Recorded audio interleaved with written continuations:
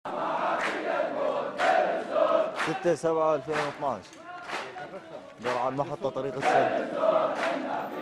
مظاهرة في حي طريق السد رغم القصف العنيف الذي يتعرض له الحي منذ عشرة أيام على التوالي